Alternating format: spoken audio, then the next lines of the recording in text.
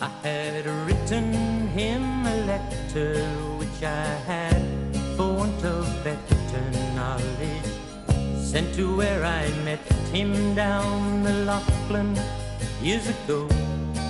He was shearing when I knew him, so I sent the letter to him just on spec, addressed as follows Clancy of the Overflow. And an answer came directed in a writing unexpected. And I think the same was written with a thumbnail dipped in tar. Twas his shearing maid who wrote it, and verbatim I will quote it. Clancy's gone to Queensland roving, and we don't know where. In my wild erratic fancy, visions come to me of Clancy, gone a droving down the Cooper where the western drovers go. As the stock cars slowly stringing, Clancy rides behind them singing. For the drover's life has pleasures that the never know.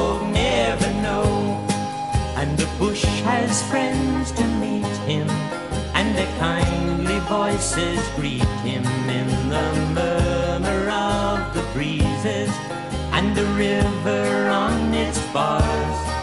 As he sees the vision splendid of the sunlit plains extended, and at night the wondrous glory of the everlasting stars.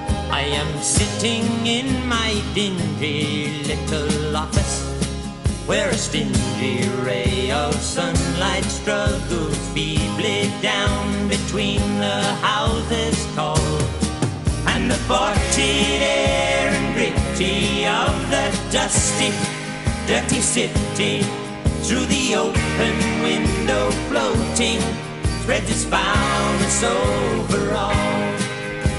Place of lowing cattle, I can hear the fiendish rattle of the tramways and the buses making hurry down the street. And the language uninviting of the gutter children fighting comes fitfully and faintly through the ceaseless tramp of feet. And the hurrying people daunt me, and the pallid faces haunt me as they shoulder one another in their rush and nervous haste. With their eager eyes and greedy, and their stunted forms and weedy. But townsfolk have no time to grow, they have no time to wait. And somehow fancy that I'd like to change with Clancy, like to take a turn at droving where the seasons come and go.